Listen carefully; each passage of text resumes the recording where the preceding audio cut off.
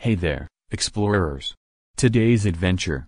Get ready for an exciting story that will help you learn something new. Let's dive in. Hi, friends.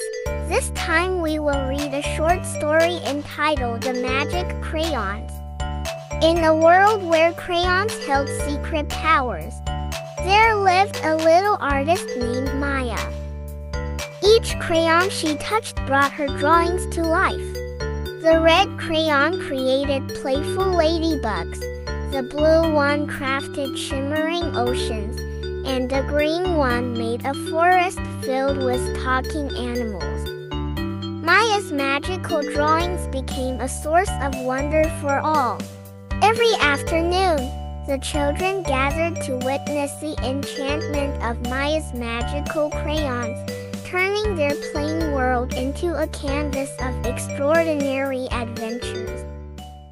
Thanks for watching this story from our video series for children's entertainment, a captivating and educational medium that offers a myriad of benefits for both the child and the parent.